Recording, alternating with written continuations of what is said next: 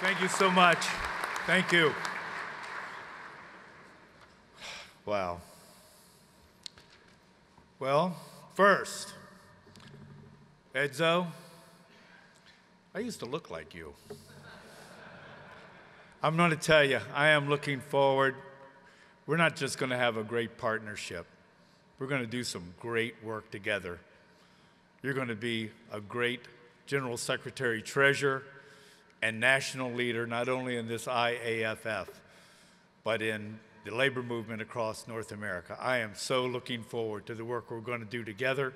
Congratulate you on your election as General Secretary Treasurer of the IAFF.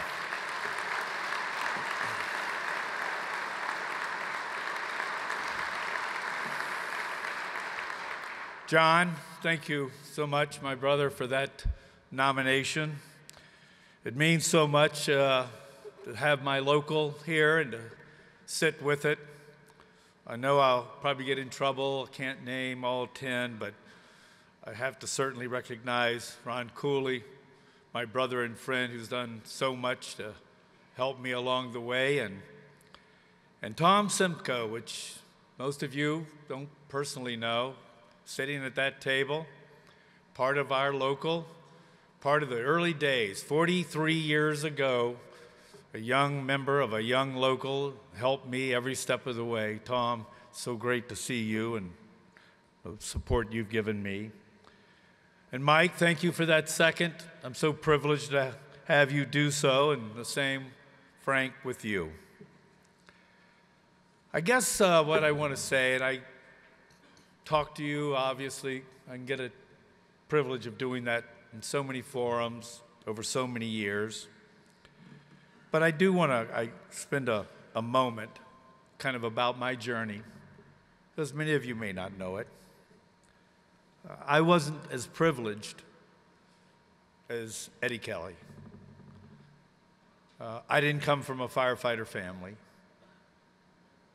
Uh, I didn't really know what that profession was all about. I came uh, from the projects Washington, D.C., right across the river, South Arlington.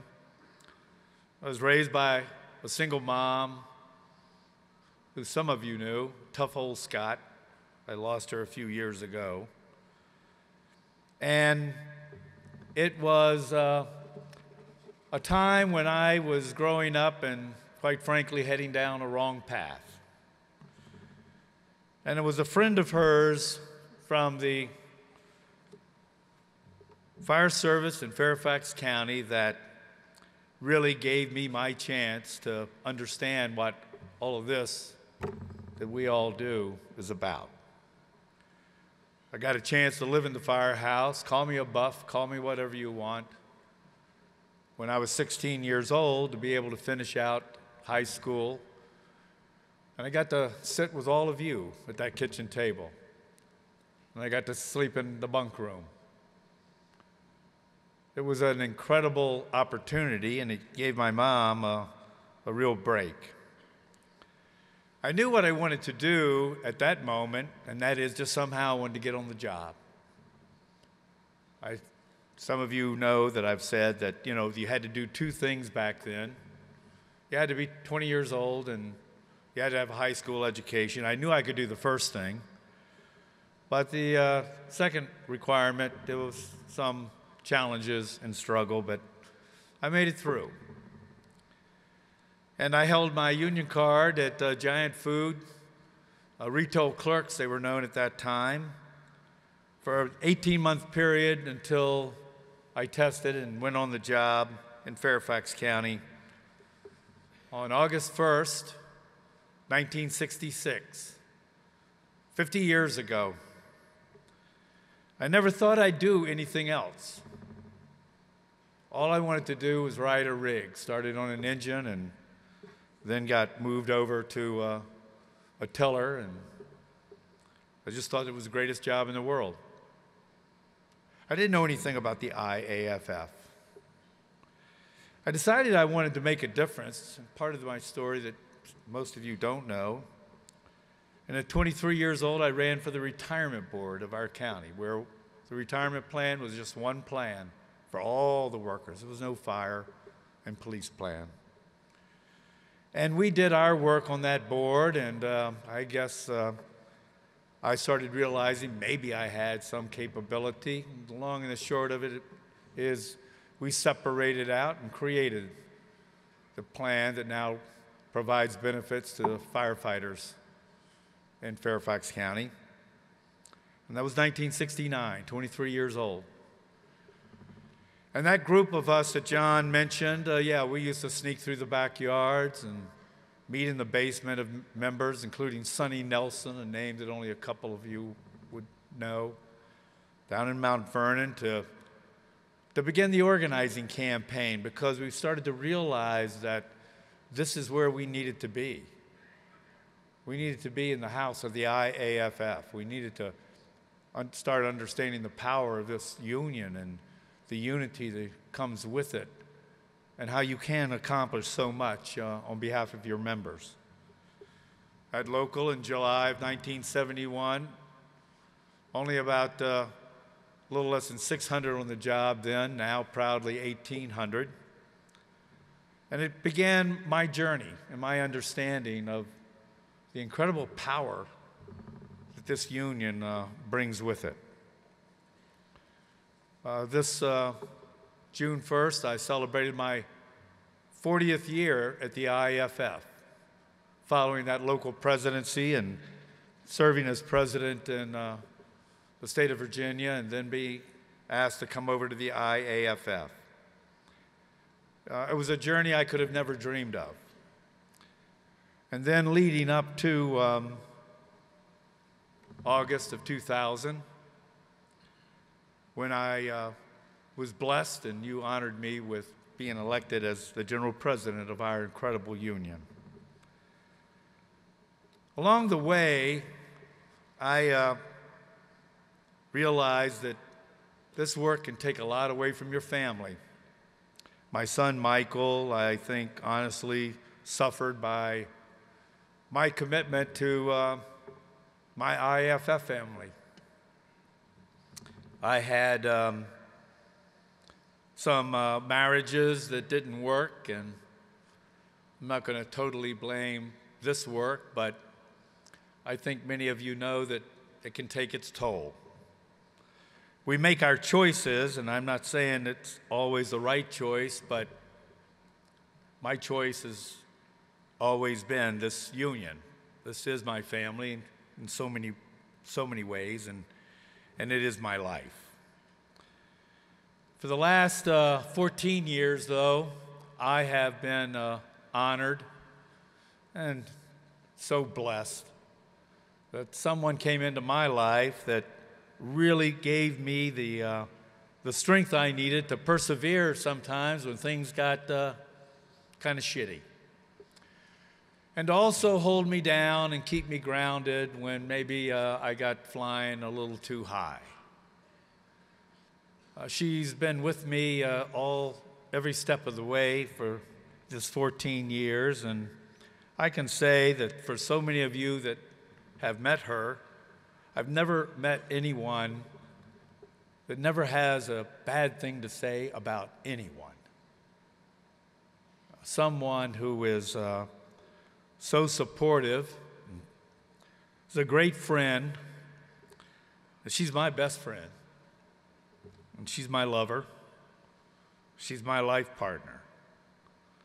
Uh, she's now my fiance. And I couldn't have done what I've been doing all these years without her, and that's Karen Pfeiffer. Sweetheart, thank you for everything you've allowed me to do.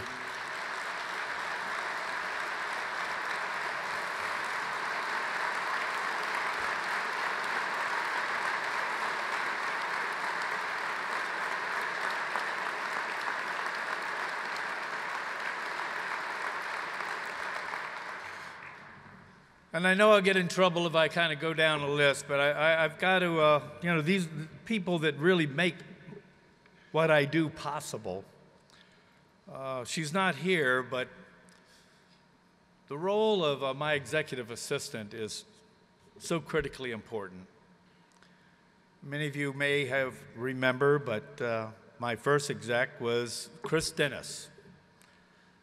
And for 28 years, she, you know, stood by me and uh, helped me uh, this, with this journey and, and uh, was so loyal. And again, another one that just kind of helped keep me steady. And for the last uh, eight years, uh, Teresa Valenzuela, my exec. They really uh, provide me, they hold me down, they push me forward, they give me hell, and uh, I couldn't do this job without the two of them having been along on this journey with me, and I thank them for everything they've allowed me to do.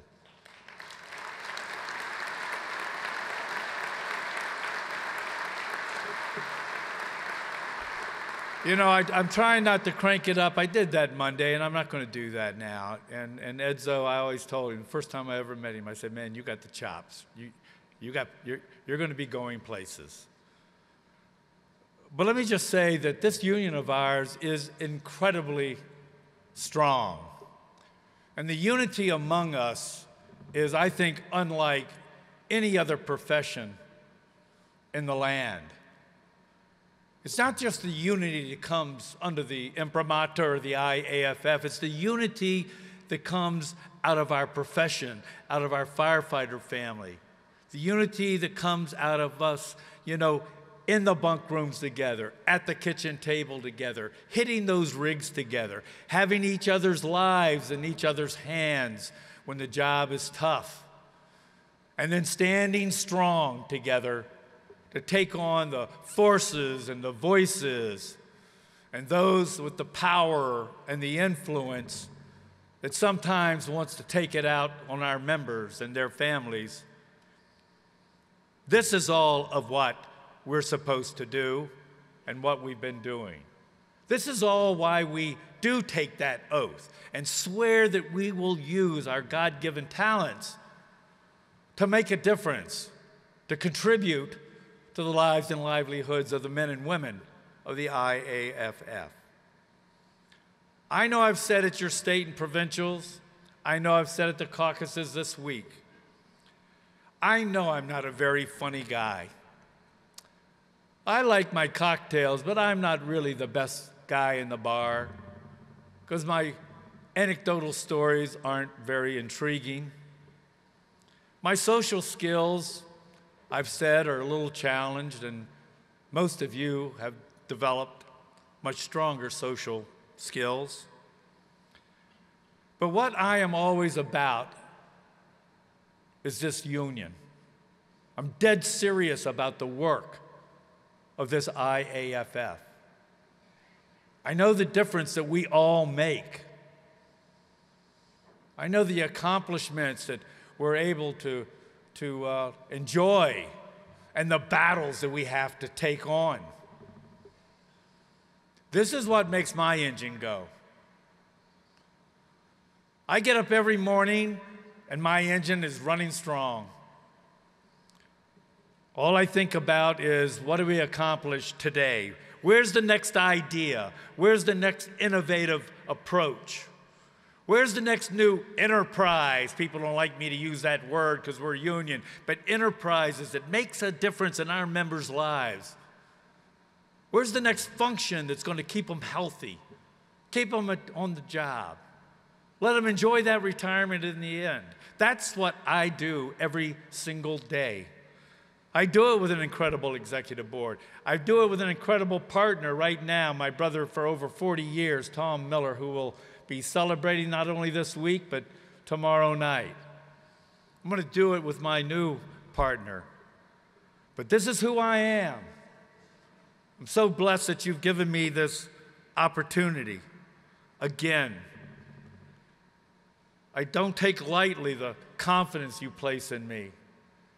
I don't take for granted that, you know, I'm allowed to stand up here today acclaimed for the fifth time. What I will commit to you is that I'm going to keep pushing this union. And I'm going to keep innovating for this union. And I'm going to work with an incredible team to make sure that this thing never goes on neutral. We don't put it on the treadmill because it's running pretty good. We're going to always look to make it run faster and stronger and longer. We're going to do our work for the very, very best. The 302,000 of the very best. The sisters and brothers of this IAFF and as I said in the year 2000 at the end of my remarks, and I'll say it to you again today, I said you'd always know where you can find me because I'll be taking care of business. And Edzo, come up here because that's exactly what we're going to do together. For all of you, for all of our members, for departments all across North America, we are going to be taking care of business.